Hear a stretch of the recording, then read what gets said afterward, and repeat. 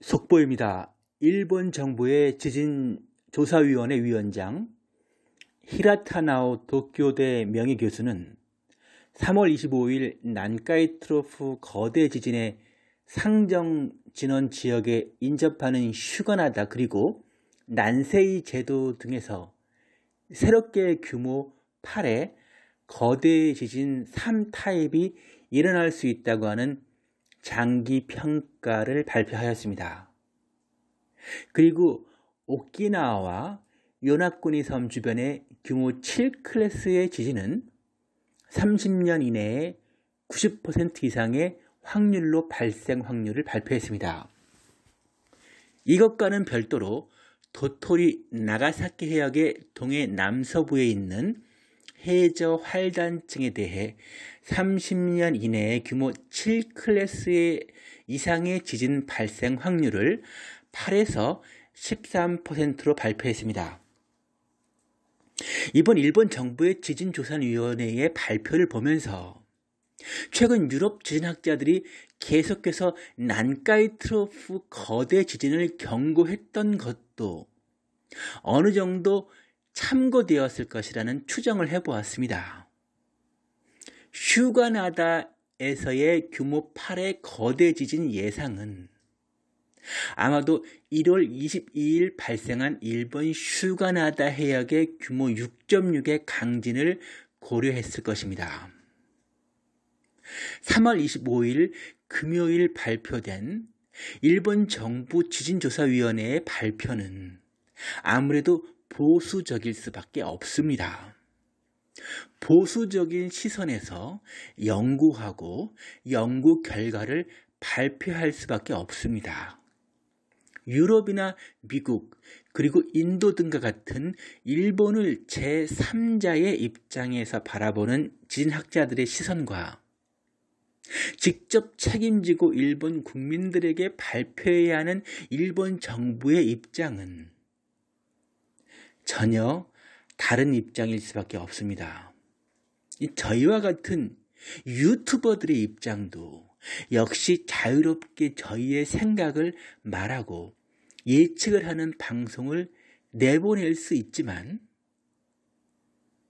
아마도 일본 정부에서는 여러 가지를 모두 다 고려해야 하므로 최대한 보수적인 시각에서 지진 가능성과 화산 폭발 가능성을 작게 발표할 수밖에 없을 것입니다. 이번 규슈 슈가나다 해역의 규모 6.6 지진을 고려하여 판단된 일본 정부 지진조사위원회의 슈가나다 해역 규모 8의 거대 지진 예측은 이미 유럽과 기타 국가들의 지진 학자들이 말하고 있습니다. 통가에서 1월 15일에 대규모 해저화산 폭발 7일 뒤에 발생한 일본의 대지진은 통가의 영향을 받았다고 볼 수밖에 없습니다. 1월 22일에 일본 규슈 휴가나다 해역의 규모 6.6의 강진은 정단층형 지진으로 분석되고 있으며 난카이 트로프 서부인 휴가나다 해역에서 발생하였습니다. 하지만 위치는 난카이 트로프 평가 정보가 뜰 수 있는 위치지만 규모가 6.8에 도달하지 않아서 대상이 되지 않았습니다. 지진 규모 6.6도 원래 처음에는 6.4로 발표를 하였다가 다시 규모 6.6으로 상향 조정된 것입니다. 1월 22일 일본 규슈 슈가나다 해역의 규모 6.6 강진 전후를 살펴보면 1월 4일에 일본 오가사와라 제도에서 규모 6.1 강진이 발생하였고 그 4일 뒤인 1월 8일에는 중국 간수성에서 규모 6.9의 강진이 발생을 하였고 7일 뒤인 1월 15일에 남태평양 통가의 해저 화산이 대폭발을 하였으며 역시 7일 뒤인 1월 22일에 일본 규슈 슈가나다 해역에서 규모 6.6의 강진이 발생을 한 것입니다. 그 2월 16일에 과테말라에서 규모 6.3의 강진이 발생을 하였고 2월 25일에는 인도네시아의 수마트라에서 규모 6.5의 강진이 발생을 하였으며 3월 2일에는 뉴질랜드에서 규모 6.8의 강진이 발생을 하였고 3월 14일에는 3시간 간격으로 필리핀과 인도네시아에서 규모 6.7의 강진이 발생하였으며 이틀 뒤인 3월 16일에 일본 동북지역 후쿠시마 앞바다에서 규모 7.4의 강진이 발생하였습니다. 그 후 3월 23일에는 대만 화롄에서 규모 6.7의 강진이 발생하였습니다. 되돌아보면 올 1월 4일에 일본 오가사와라 제도 동부해역의 규모 6.1의 강진에서부터 시작을 한 강진이 3월 16일에 일본 후쿠시마 앞바다의 규모 7.4 강진까지 연결된 것으로 볼 수 있습니다.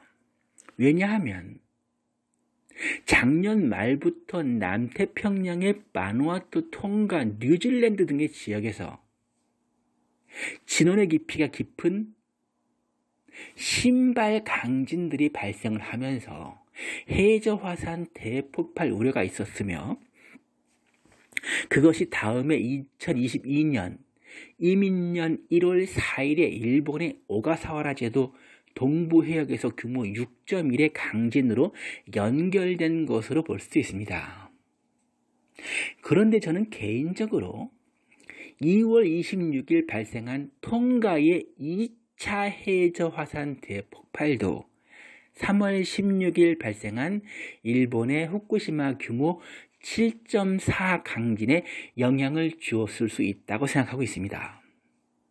물론 일본 후쿠시마의 강진은 여러 가지 이유가 있을 수 있습니다.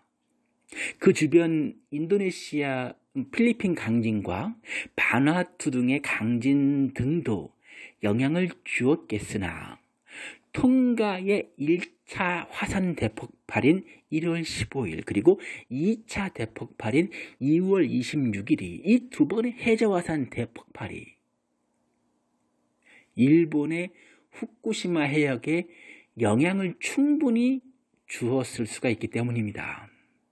그 증거가 바로 일본 규슈 슈가나다 해역의 규모 6.6의 강진이 1월 22일에 발생을 한 것입니다. 그리고 한국의 지진에 대한 우려도 유럽의 지진 학자들에게서 계속해서 나오고 있습니다. 작년 2021년 12월 14일 제주도 서귀포시 해역에서 규모 4.9의 지진을 바라보는 시각이 국가별로 다 다른 것입니다. 한국은 제주도 지진에 대하여 제주 지역이 더 이상 지진의 안전지대가 아님이 확인되었다. 조심해야겠다고 생각하면 됩니다. 그럴 수 있겠지만 유럽의 지진학자들은 그 이상의 위험성을 이미 계속하여 이야기하고 있습니다. 물론 한국의 지진 위험에 대한 이야기는 사실 조심스러운 부분이고 제 채널에도 영향을 줄 수 있는 민감한 것이기에 한국의 질에 대한 이야기는 가급적 조심하고 있습니다만 세계의 진학자들은 제주도 지진에 대하여 이 동중국해와 한국의 지진을 바라보면서 여러 가지 경고를 하고 있다는 것 정도는 알려드리도록 하겠습니다. 시청해 주셔서 진심으로 감사드리겠습니다. 구독과 좋아요, 알람 설정을 꼭 부탁드리겠습니다. 이 채널을 운영하는데 큰 힘이 됩니다. 감사드립니다.